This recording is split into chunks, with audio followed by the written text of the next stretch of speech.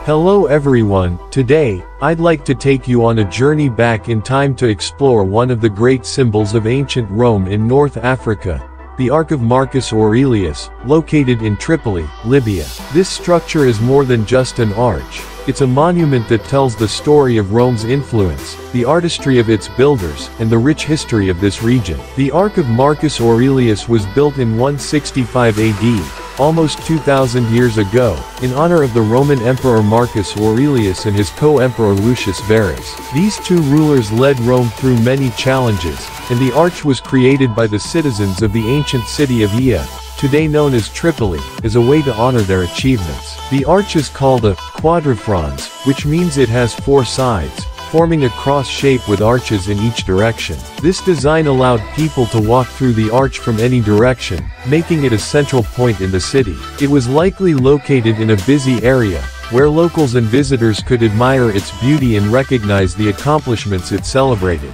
One of the remarkable things about this arch is its construction.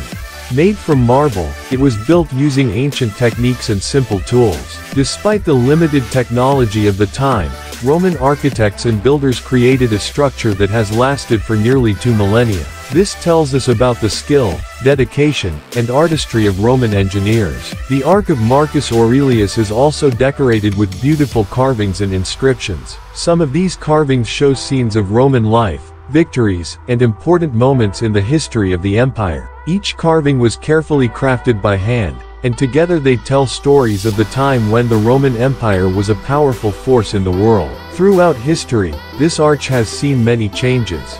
The city around it has grown and evolved, but the arch remains as a reminder of Tripoli's past. While some parts of the arch have been damaged over time, much of it still stands, allowing us to imagine what it must have looked like when it was first built. The arch is more than just a piece of history for Libya, it's a symbol of the cultural exchange between Rome and North Africa. During the Roman period, North Africa was an important region of the empire, known for its wealth and strategic location. The Ark of Marcus Aurelius represents the connection between these two worlds. Today, the Ark of Marcus Aurelius is a popular attraction for visitors to Tripoli. Tourists and history lovers come from around the world to see this ancient monument. Standing in its shadow, you can almost feel the presence of the past, imagining the people who once passed through it, living in a world that was very different from our own. For the people of Libya, the arch is a proud part of their heritage.